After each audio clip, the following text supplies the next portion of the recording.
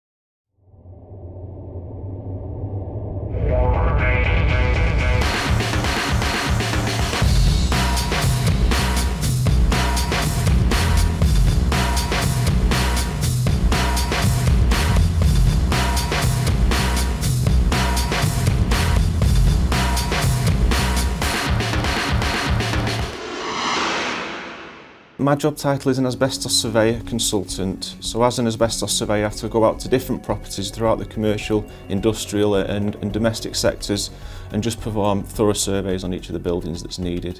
Um, as a consultant I would just provide information, advice and provide general risk to the general public and to other clients and other businesses.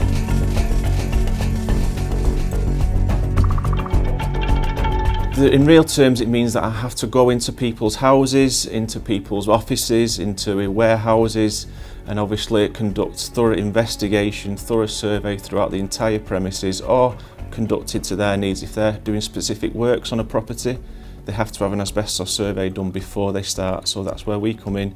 We do the surveys, we give them the go ahead. If, it's, if there's asbestos present, present, they need to manage it. If there's not, it needs to be removed.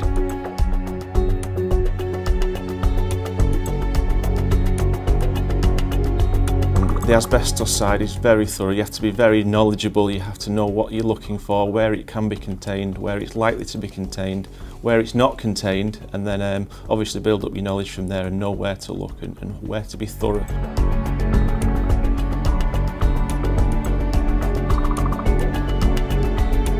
The skills and qualities needed to do the job that we do, uh, you obviously have to be able to express the, the importance of the job, you have to express the need to get the surveys done in the first place, but you also have to express the importance to the client and to the tenants or to whoever you meet of how important it is to get the surveys done. you have to be very punctual, you have to be very thorough, only because that you can't afford to miss anything in the asbestos industry. People panic when they hear the word asbestos at the end of the day and we need to ensure that yes, it's a dangerous industry, but we take all the right precautions, we take all the right um, safe, safety aspects into it and, and we job, conduct the job properly. So.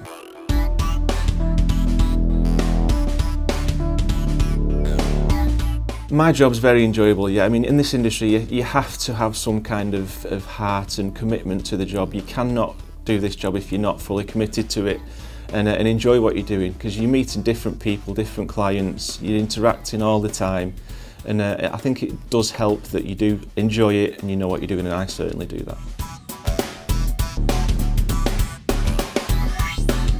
Asbestos is unfortunately not going away. Um, there's still a lot of a lot of it out there in each of the domestic, private, commercial, industrial sectors, and it needs to be looked at. So uh, what I would say to anybody looking to get into this industry is that yes, asbestos is dangerous, but as a company ourselves and as the asbestos industry, we all take the highest precautions to ensure the safety and it's a really enjoyable job. If you like the outdoors, if you like the indoors, if you like people, if you don't like people, it's still something you can get into and enjoy.